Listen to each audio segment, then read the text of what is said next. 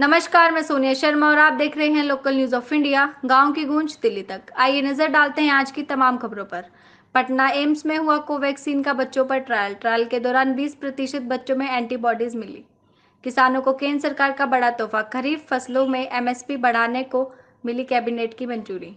धान, बाजरा, अरहर, तिल, मक्का और रागी की बढ़ाई गई एमएसपी दिल्ली में कोरोना के तीन सौ सैंतीस नए मामले और छत्तीस मौत।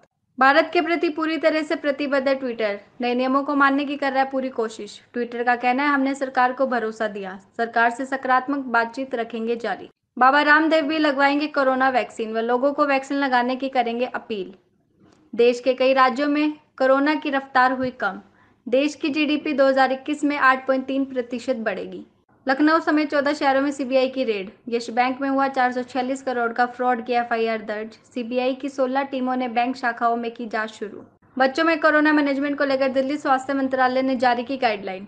पाँच साल से छोटे बच्चों को मास्क की ज़रूरत नहीं, और कहा रेमडेसिविर इंजेक्शन का प्रयोग बच्चों पर ना करें।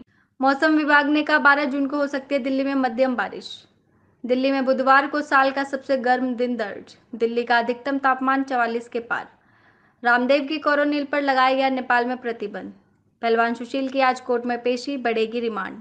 सुशांत सिंह के पिता की याचिका पर दिल्ली हाई कोर्ट में आज फैसला। झांसी में हुई पानी की किल्लत। लोगों को पानी लेने के लिए दो से तीन किलोमीटर दूर जाना पड़ रहा है। प्रशासन अपनी तरफ़ से नहीं उठा रहा कदम।